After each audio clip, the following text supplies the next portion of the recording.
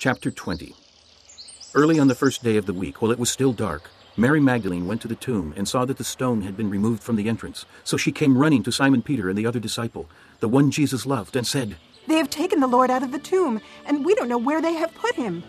So Peter and the other disciple started for the tomb. Both were running, but the other disciple outran Peter and reached the tomb first.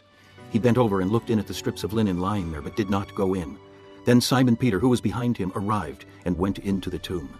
He saw the strips of linen lying there, as well as the burial cloth that had been around Jesus' head.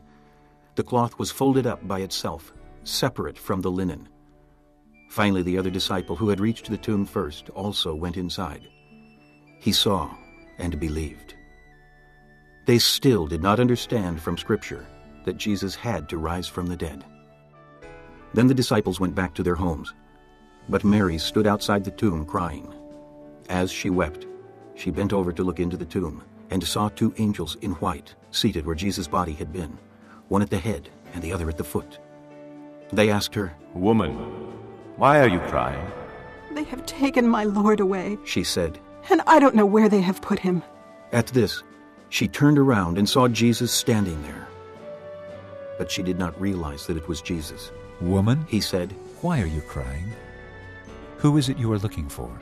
Thinking he was the gardener, she said, Sir, if you have carried him away, tell me where you have put him, and I will get him. Jesus said to her. Mary. She turned toward him and cried out in Aramaic, Rabboni! which means teacher.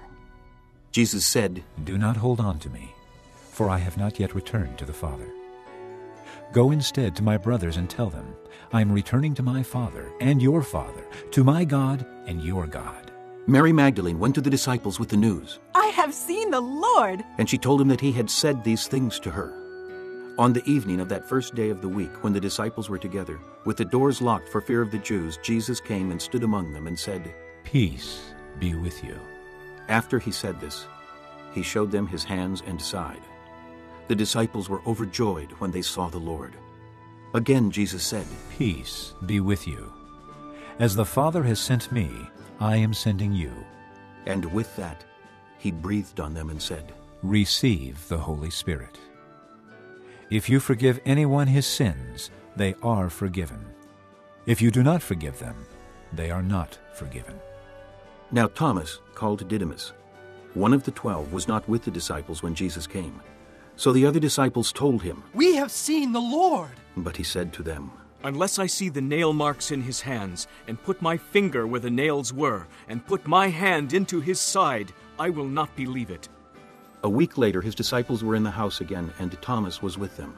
Though the doors were locked, Jesus came and stood among them and said, Peace be with you. Then he said to Thomas, Put your finger here. See my hands. Reach out your hand and put it into my side. Stop doubting and believe. Thomas said to him, My Lord and my God.